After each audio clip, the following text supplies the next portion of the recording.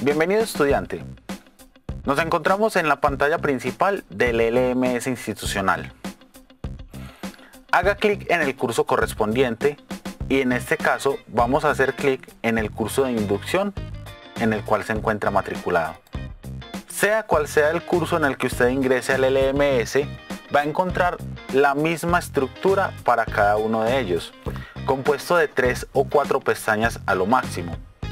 La primera de ellas es el inicio del módulo, la unidad didáctica 1, la unidad didáctica 2 y en algunos otros cursos la unidad didáctica 3.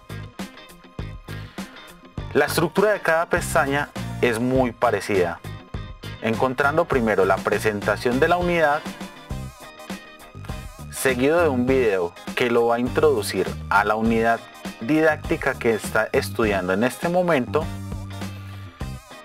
un cuadro con algunas instrucciones, el cual es recomendable que lea bien, ya que tiene algunas de las instrucciones para que realice de manera exitosa la unidad didáctica que está viendo en este momento.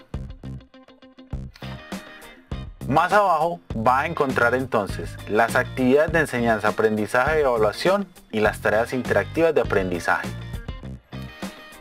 Para este caso vamos a revisar entonces el curso de inducción que está compuesto de tres pestañas. Inicio del módulo, unidad didáctica 1 y unidad didáctica 2.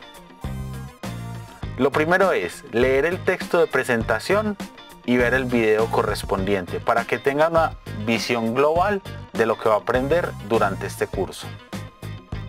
Luego de haber visto dicho video y de haber leído la presentación, diríjase al cuadro importante.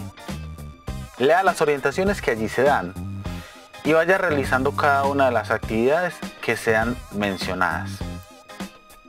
Ingrese al foro Orientaciones del tutor, preguntas y respuestas, ya que desde allí su tutor va a dar orientaciones para ir siendo ejecutadas durante la ejecución del curso. Luego ingrese a la agenda de avance de aprendizaje inicio. Allí va a ver relacionadas cada una de las actividades de enseñanza, aprendizaje y evaluación que van a ser vistas en la unidad didáctica que está en este momento viendo y cada una de sus tareas correspondientes. Es recomendable que verifique bien las fechas de inicio y las fechas límite para que entregue de manera puntual cada trabajo que sea relacionado. Después de que verifique la agenda de avance de aprendizaje inicio, va a encontrar el bloque de actividades de enseñanza, aprendizaje y evaluación. Estudie cada una de estas para que pueda realizar de manera muy correcta cada una de las tareas interactivas de aprendizaje. Nunca realice una tarea interactiva de aprendizaje sin antes haber estudiado la actividad de enseñanza, aprendizaje y evaluación en la que se encuentra integrada ya que cada una de las tareas interactivas de aprendizaje está completamente relacionada con las actividades de enseñanza, aprendizaje y evaluación. Para este ejemplo, vamos a ingresar entonces a la unidad didáctica 1. Nos encontramos entonces, como dijimos al comienzo de este video, con la presentación o bienvenida a la unidad, donde usted va a ver un texto y luego un video donde usted va a tener una visión global de lo que se va a ver en el transcurso de la unidad didáctica. Más abajo se observa el cuadro importante. Léalo bien, ya que allí hay algunas instrucciones que debe realizar.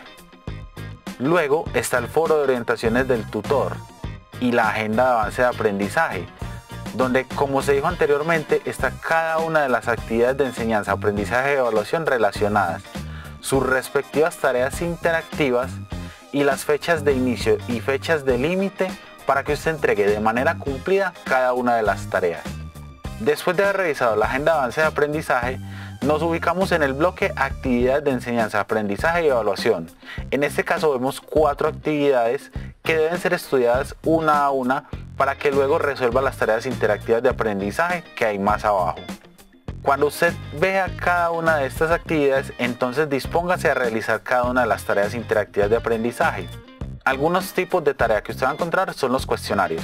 Cuando ingrese allí va a encontrar un botón que dice intente resolver el cuestionario ahora. Al dar clic sobre él, el cuestionario empezará automáticamente y debe ser resuelto en su totalidad.